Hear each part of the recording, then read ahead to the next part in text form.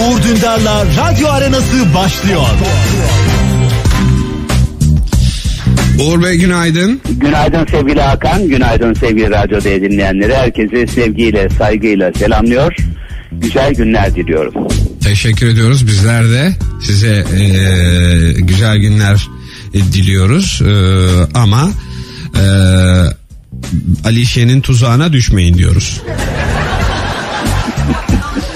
Yani orada sizi kandıran bazı cümleler olduğunu fark ettim. Ee, işte yok yüzde bilmem kaç saldırma olasılığı varmış. insanları yeme olasılığı bilmem kaçmış. Gördük ayaklarına nasıl saldırdığını köpek balıklarının. Alişen'e bence kanmayın. Hakan benim ayağımı kaydırıp o dalışa sen gitmek istiyorsun gibi bir his oluştu içimde. Yani e, tamam ben e, Birlikte de gidebiliriz yani. Tamam be Bu gidebiliriz. numaraya hiç gerek yoktu. Yani ben bilmiyorum ama yani siz e, bence e, ben gideyim. bence ben gideyim yani. Ya bugün içimden e, büyüklere bir masal okumak geliyor. Bir fon müziği koyar mısın? Ve hemen bir fon müziği. e, tamam. Dinliyorum ben sizi. Ya daha Ee, doğrusu dinleyicilerimiz. Anlatabilir miyim? Okuyabilir miyim? Tabii. Biraz uzunca olacak 3-4 dakika sürer ama. Evet, Eğer. Büyüklere masallar. Karınca e, yıllarca dirsek çürütmüş, okumuş, çalışmış, namerde muhtaç olmamak için didinmiş, zor günlere hazırlık yapmaya gayret etmiş. Ağustos böceği ise yan gelip yatmış. Elde avuçta ne varsa satmış, orman tarihinde görülmemiş bir borca girmiş. Vur patlasın, çal oynasın, harcamış. Ee, okumak, çalışmak zor tabii. Başta ayı ne kadar gergedan, su aygırı, bufalo varsa Ağustos böceğini örnek almış hep beraber har vurup harman savurmuşlar. Dolce Vita. Ve kış gelmiş. Sahte cennete kar yağmaya başlayınca ulan tufaya mı geldik diye mırın kırın başlamış ağaç kovuklarında. Ağustos böceği bakmış ki karınca kıymete biniyor. Basın toplantısı düzenlemiş. Etrafta o kadar fakir fukara varken bu şerefsiz karıncaların karnı tok, sırtı pek, kamuoyunun vicdanına sunuyorum. Garip kurabayı sömüren bir avuç elit bunlar demiş. Yandaş çakallar, kıçı açıkta gezen şempanzelerin fotoğraflarını basarak sizin giyecek donunuz yok. Onlar sıcacık yuvalarında oturuyor. Bu nasıl düzen? Makaleleri dö- döşenmişler. Papağanlar orman televizyonuna çıkıp Ağustos böceği ne dediyse tekrar etmişler. Tilki ise derhal yardımlaşma derneği kurup makarna bulgur kırıntısı dağıtmak için bağış toplamaya başlamış. Koyunlar hislenip ağlamış, kazlarla tavuklarla beraber omuzları almışlar tilkiyi. Şak, karıncanın yuvası basılmış. Yer altında 6 metreye inen dehlizlerin krokileri yayınlanarak işte derin yapılanma manşetleri atılmış. Kazı çalışmalarında ne oldum deme, ne olacağım de. Sular yükselince balıklar karıncaları yer, sular çekilince karıncalar balıkları şeklindeki örgütsel dökümanlar ele geçirilmiş. Akbabalar derhal olay yerine üşüşüp işte kanıtı resmen istilaya hazırlanıyorlar demiş. Karınca tutuklanmış. Ağustos böceği şark bülbülü rumuzuyla gizli tanık olmuş.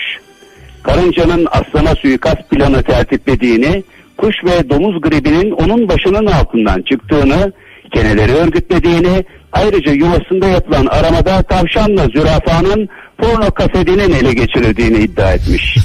Telekulak olarak görevlendirilen baykuş doğrulamış. Fil bile inanmış. Karınca'nın yakınları Avrupa Hayvan Hakları Mahkemesi adına bilirkişi olarak duruşmaları izlemeye gelen La Fontaine senin gibi bilirkişinin ta diye tepki göstermişler. Ancak La Fontaine saçmalamayın kardeşim ben böyle bir rapor yazmadım. Yazmadığım şeyleri yazmışım gibi eklemişler deyince La Fontaine'in raporuna sehven montaj yapıldığı ortaya çıkmış. O sırada söz isteyen karga ağzındaki peyniri düşürmüş gibi göstermek suretiyle küçük düşürüldüğünü öne sürerek şikayetçi olmuş, tilki alkışlamış. La Fontaine gözaltına alınmış. Ağustos böceği Nuh'un gemisiyle dünya turuna çıkarken Sarı öküz karşılamış cezaevi kapısında karıncayı. Anlattık o kadar. Angus gibi dinlediniz. Vermeyecektiniz beni demiş. Evet, büyüklere masalların yazarı sevgili Yılmaz Özdil. Bugünkü Hürriyet'teki köşesinde. Gayet güzel bir masal. Öyle değil mi? Başka söze gerek yok. Evet. Yılmaz Yani anlayana e, sivrisinek saz, anlamayana davul zurna az misali. Sevgili Yılmaz da böyle bir masal yazmış büyüklere. Evet. Ben e, Fransa'ya ilk gittiğimde La Fontaine'e selamlarımı ileteceğim zaten bu masaldan dolayı. E, masalın e, versiyonunu değiştirmişler. Gerçek masalı biz şimdi bugünkü yazıdan öğreniyoruz zaten. Evet bir e, bu arada orada fil e, lafı da geçince Uğur Bey e, e, biliyorsunuz bir filmimiz var artık ve e, çok da sevimli bir fil. Zannedersem e, bu Türkiye e, genelinde baktığımızda e, ilk kez bir e, filmimiz olmuş bizim. Yani Türkiye'de ilk kez bir fil doğuyor. Ee, Yılmaz Özdil'in pazar günkü yazısında e, görmüştüm. Ee, İzmir'le ilgili çok güzel bir yazıydı. Daha sonra birden yazıdan e, bu filmize e, döndük, mixlendi. Ve kendisi rica etmiş İzmir'in ne kadar güzel bir yer olduğunu, İzmir'in adının nereden geldiğini e, ve bu fil yavrusuna İzmir isminin e, konmasını önerdiğini gördük. Dün sabahleyin yüzde 14'tü İzmir adı. Ee, size bu bahsettiğim olaydan hemen sonra şu anda İzmir yüzde 55 ile birinci Uğur Bey. %55 o ne güzel ne güzel. Evet. Ee, demek ki demek ki e, İzmir e, fille de e, o güzel yavru fille de anılıp gidecek. Evet. Yani iyi ki İzmir'imiz var. İyi ki o dünyalar güzeli minik e, fil İzmir'imiz dünyaya geldi. E, vallahi e, böyle bunaldığım zaman, sıkıldığım zaman, e, karabasanlar bastığında, e, yani e, işte ana muhalefet partisi lideri Kemal Kılıçdaroğlu iyimser konuşmaya gayret etse bile e, gelecekte yakın bir gelecekte çok daha baskıcı bir e, rejimin e, Türkiye'yi beklediğini tutuklananların sayısının hızla artacağını söyledikçe İzmir gözümde bambaşka bir güzellik olarak canlanıyor ve ah diyorum e, İzmir'de olmak, İzmir'de yaşamak, İzmir'i e, anlamak, İzmir gibi hissetmek ne kadar ayrıcalıkmış meğer değil mi? Evet. Ee, şimdi Yani Demo- bir ülkede ileri demokrasiden söz edilir de en ufak aykırı söze, en ufak muha- muhalefete böylesine hoşgörüsüzce, böylesine linç kültürüyle e, abanılır mı? İnanılır gibi değil. İnanılır gibi değil. Yani dün Oda TV'de çalışan arkadaşlarımıza yapılanları görünce bugün o operasyonun arka planını e, okudukça işte Sözcü gazetesinde Saygı Öztürk yazmış. Türk Wikileaks'ini yayınlayacaklardı demiş. E, ve e, hem orada yayınlayacaklardı hem kitap haline getireceklerdi. Ayrıca e, Cumhuriyet Halk Partisi'nin elinde olduğu öne sürülen Halk TV'yi e, almak için, satın almak için e, bir dizi çaba sergilediklerini de söylediler. Yani böyle bir operasyonun zamanlamasının bu nedenle e, çok manidar olduğunu söylediler. E, şaşkınlıkla izliyoruz. Evet, e, hakikaten çok e, ilgi çeken bir başka e, haber var ki o da Gülerce'nin Oda TV'ye yapılan baskını savunması. Habertürk'e yayına katılmış. Habertürk son zamanlarda çok ilginç kişileri alıyor yayına. Ee, Hüseyin Gülerce zamanla alakalı bir kişi kendisi sevgili dinleyicilerimizden hani hatırlayamayan olursa ee, Soner Yalçın'ın sitesinde sadece Ergenekon davasına karşı çıkan yazılara ve yorumlara yer verdiğini savunuyor Uğur Bey. Ee, şimdi Hakan ben bu iktidarın aslında çok yanlış bir e, sürece doğru kendisini sürüklediğini görüyorum.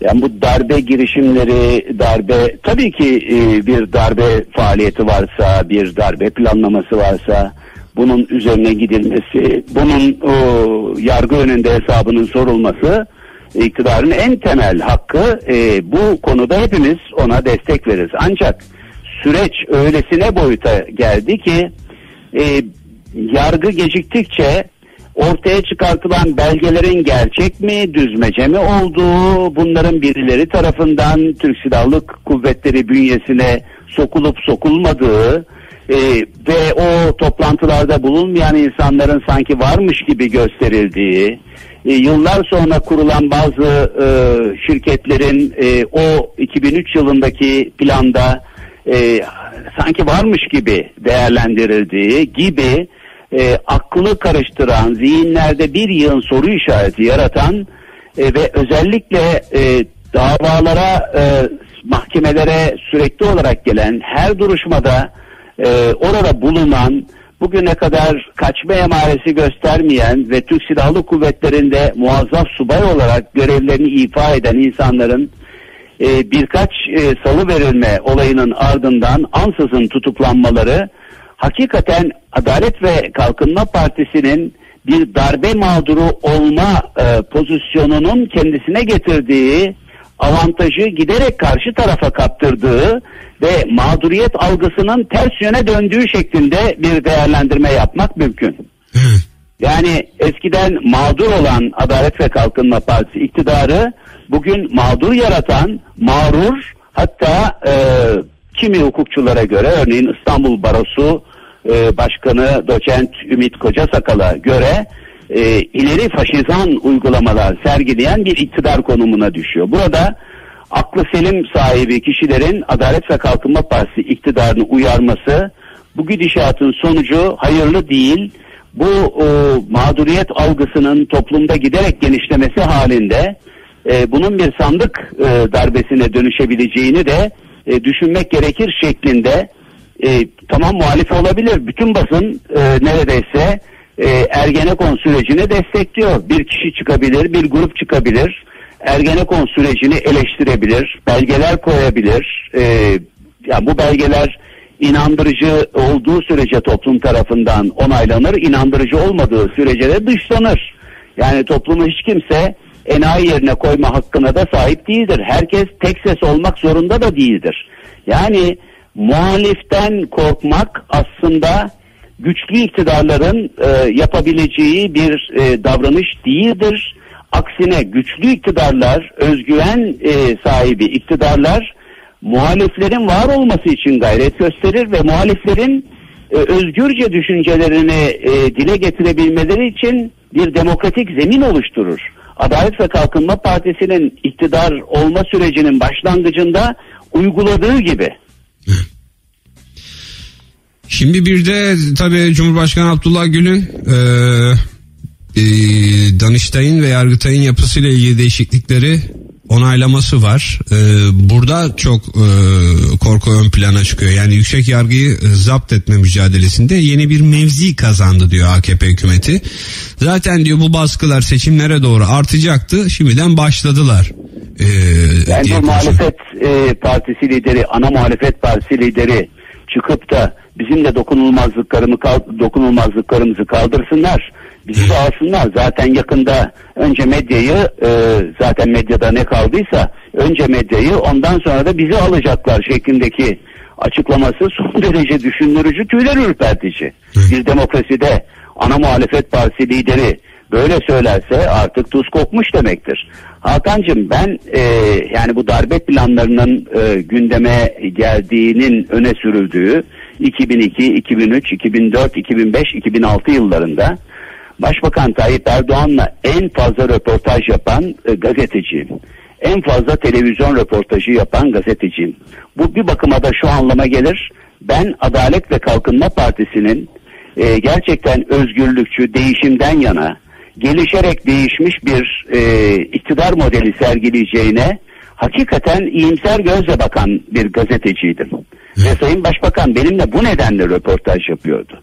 Yani e, geçmişte bir takım olaylar yaşandı. İşte milli görüş e, kökeninin e, bir tehlike olarak algılandığı dönemleri geçirdik hep birlikte. Bir 28 Şubat süreci yaşandı. Ondan sonra ama herkes dersini aldı ve 2002 seçimlerinden önce Başbakan ben e, gelişerek değiştim e, söylemiyle halkta bir güven duygusu yarattı. E, gerçekten de ben e, bunu söyleyenlere kredi açılması gerektiğine inanıyorum. Ve dikkat edersen 2006-2007'ye kadar hatta Cumhurbaşkanı seçimine kadar toplumda hiçbir ayrışma, hiçbir bölünme, hiçbir kamplaşma yoktu. Ne olduysa 2007 seçimlerinde, 2007 e, Cumhurbaşkanlığı seçiminden sonra oldu. Yani bir ülkede gerilim varsa, bir ülkede kutuplaşma varsa, bir ülkede ayrışma varsa bunun sorumlusu en başta ülkeyi yöneten iktidardır. Ama yani e, her şey ortada Uğur Bey. Her şey ortada ve çok e, hızlı bir şekilde Türkiye baskıcı e, faşizan bir yönetim anlayışına doğru gidiyor ilerliyor. Yani bunu mutlaka durdurmak lazım. Bunu durdurmadığı takdirde geniş kitlelerde oluşacak mağduriyet hissi, e, mağdur olanı koruma, mağdur olanın yanında yer alma hissi e, iktidarın e, süratle aleyhine gelişecektir. Yani rüzgar bana göre tersine düştür.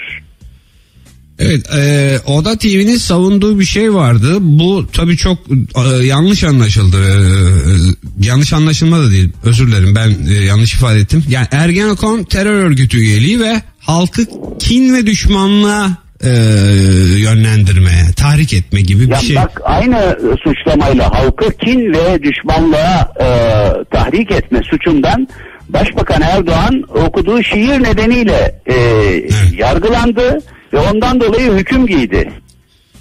Evet ama şimdi Oda TV'nin Yani başbakan şimdi ne diyor? Ben mağdurum diyor. Suçlama aynıydı. Demek ki yarın öbür gün başkaları da mağdur olduklarını çıkıp e, söyleyecekler. Mağduriyete yer vermemek lazım. Mağduriyet ortamını oluşturmamak lazım. Mağduriyet atmosferini demokratik atmosfere çevirmek lazım. Hoşgörü ve eleştiriye tahammül. ama kan davasına dönüşmüş gibi bir şey var şimdi ortada. E, maalesef maalesef o noktaya geldi. Ben e, o Oda TV e, yöneticileri Soner Yalçın'ın dışında o Barış Terkoğlu, Barış Pehlivan e, vardı. Pehlivan e, ve Ayhan diğer Bozkurt. arkadaşı hiç görmedim, tanımam. Ama yüzlerine bakıyorum tertemiz pırıl pırıl insanlar bunlar. Genç gazeteciler. Yani bir grup gazeteci bir araya gelmiş ve muhalefet yapıyor. E ne olur yani? Evet. Ne olur? Ee, üstelik onların çok da e, güzel savunmaları vardır yani Ergenekon en başından beri e, Amerika'nın bölgesel planlarına direnecek kuvvetleri tasfiye etmek olduğunu söylerler. E, onu savunurlar ama biz çok daha farklı bir şekilde onları gözaltına alıyoruz, arıyoruz. E, Hakan suçlu olan suçlu olan işlediği suçun hesabını mutlaka yargı önünde vermelidir. Biz hiçbir zaman meslek hayatımızın hiçbir döneminde suç örgütlerini ve suçluyu savunmadık.